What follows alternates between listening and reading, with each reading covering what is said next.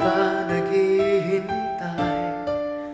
Nahimukin pa, pilitin pa ng tadhana Alam mo na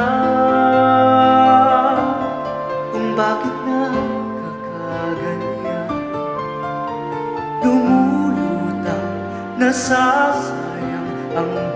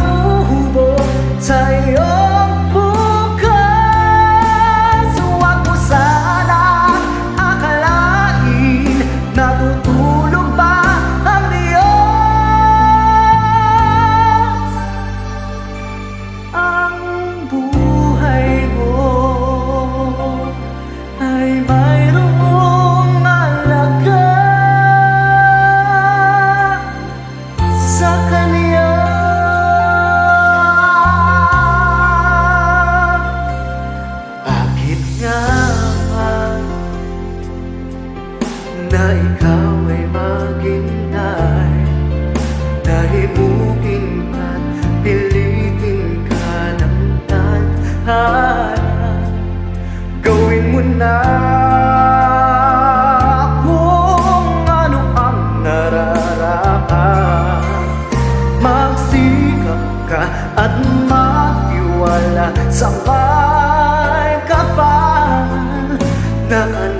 ang Diyos umalalay sa'yo.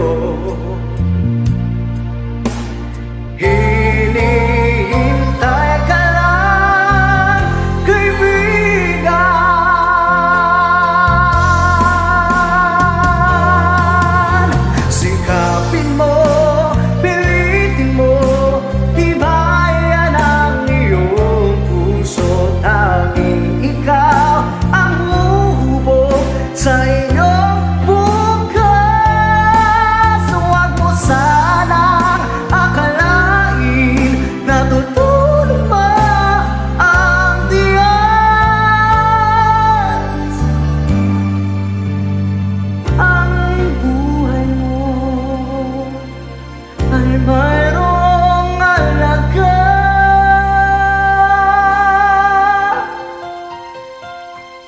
sa kanya.